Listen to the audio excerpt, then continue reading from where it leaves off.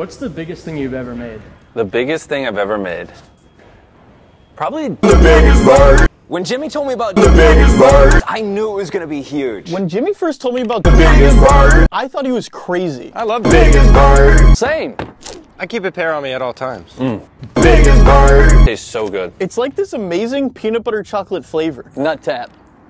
Mm. That's good nuts. You have to try this. biggest bird, Go to feastables.com right now if you want some biggest bird. in your mouth.